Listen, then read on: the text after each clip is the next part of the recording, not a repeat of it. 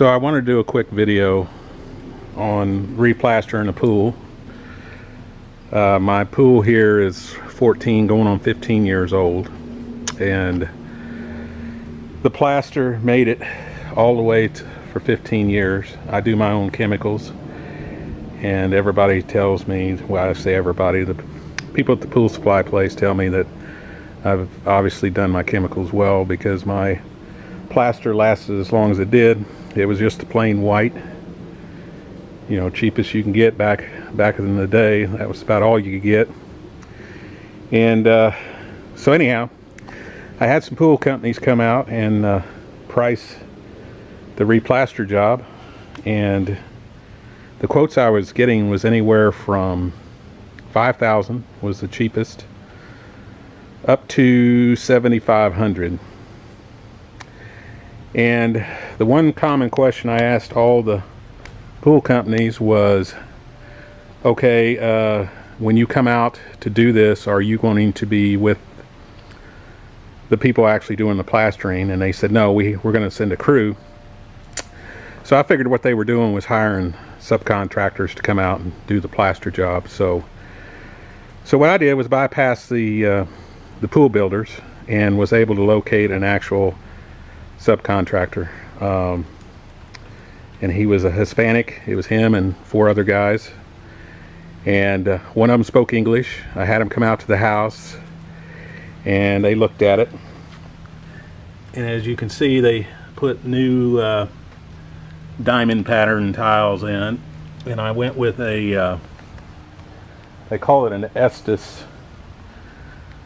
This is the uh, sample that he gave me and so it's got little granulars in it which hide stains uh, and adds color to the pool easier to keep up with. Um, the only thing I don't like is it's a little bit textured and and I found in the pool it's not as smooth as the white was. So you know as your skin gets soft and being in the water it can uh, it can kind of uh, get a little sensitive. But other than that it's as you can see it turned out great uh, they came out and uh, chiseled away the old plaster all around the tiling uh, knocked a couple holes in the bottom of the pool because uh, apparently when you pull all the water out of the pool it has a tendency to want to float up so they have to knock the holes in the bottom so that doesn't happen.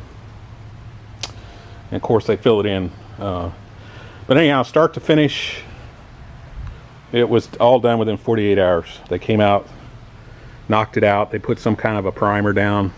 They let it dry overnight. Came in the next morning, dropped in the plaster, and I did the startup myself. Uh, it really wasn't that big a deal. You have to brush it. You know, they recommend twice a day. I actually did it four or five times a day until I kept doing it until the dust uh, disappeared you know, I put in a couple of gallons of muriatic acid, which uh, as you're sweeping, the muriatic acid dissolves that dust. I'm assuming that's how it works. But anyhow, it's been three weeks now. I've got my pool equipment up and running.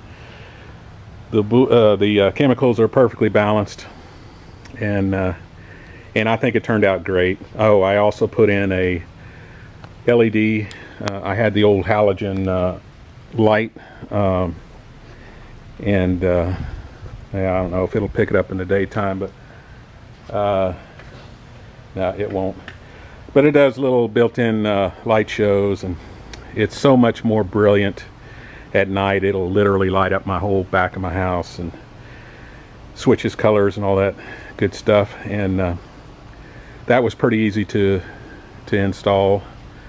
Um, so I guess uh, the bottom line is by going to the subcontractors themselves, I was able to get it done for $3,400 and that's it, which I thought was a heck of a deal. And uh, so it was half. I figured at half, if something happens and, uh, you know, a defect or, or whatever, and they don't, aren't able to fix it, well, I can have it replastered again and still spend less money than some of these pool builders were were wanting. So anyhow, I hope it helps. Um, I actually found this uh, subcontractor on Facebook. Uh, go to these community garage sale uh, pages, and that's how I found him. So if you want to save some money, bypass the pool builder, go straight to the subcontractor, and boom. Hope it helps.